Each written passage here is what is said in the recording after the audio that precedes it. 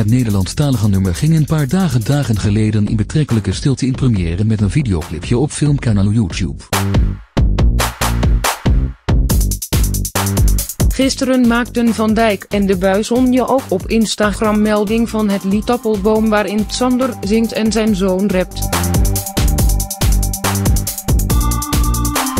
Vooral de persoonlijke tekst van het nummer, waarin vader en zoon hun gevoelens voor elkaar retaleren, lijkt mensen diep in het hart te raken.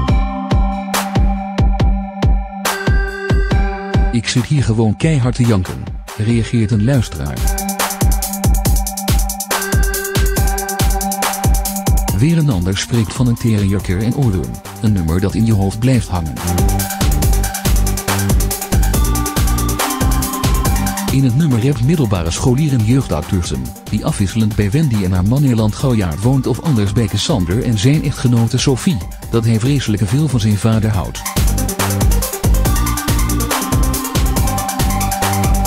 Je staat altijd aan de zijlijn, bent altijd in mijn bijzijn. Jouw stress is mijn stress en jouw pijn is mijn pijn. Ik lijk te veel op jouw pa, laat dat geen geheim zijn. Aldus hem die ook nog kort ingaat op de breed in de media uitgemeten relatiebreuk van zijn ouders. Sander de Buisonnie en Wendy van Dijk zouden op 3 augustus 2002, na 3,5 jaar samen te zijn geweest, in het huwelijk treden.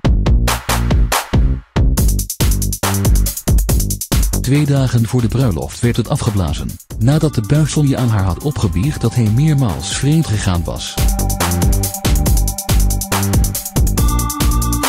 Wendy was op dat moment in verwachting en beviel op 10 februari 2003 van zijn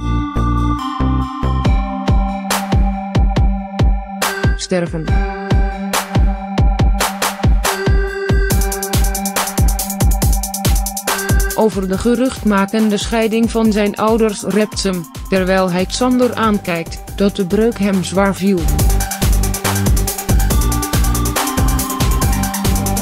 Ik ging heen en weer, aldus hem die, zonder in details te treden, vindt dat hij inmiddels behoorlijk op zijn vader is gaan lijken. De appel valt niet ver van de boom. Xander gaat in het refrein ook flink de diepte in. Als ik niet zielsveel van jou, dan zal ik langzaam sterven en ga ik dood aan jou. Volgens de buisonje. Die een nummer, ook te luisteren via Spotify, Red.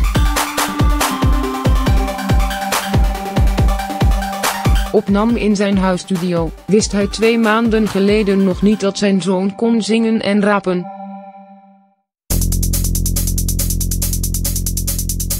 Wendy is lyrisch over het eindresultaat en trots als een pauw.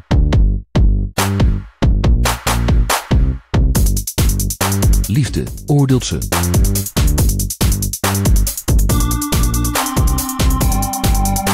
Sander de Buisonje trouwde in 201 met zijn huidige vrouw Sophie.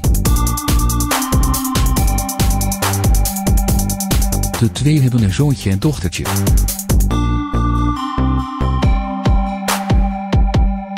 Wendy van Dijk is al jaren samen met voormalig RTL-programmadirecteur Erland Galjaard met wie ze dochtertje Lizzie, 9.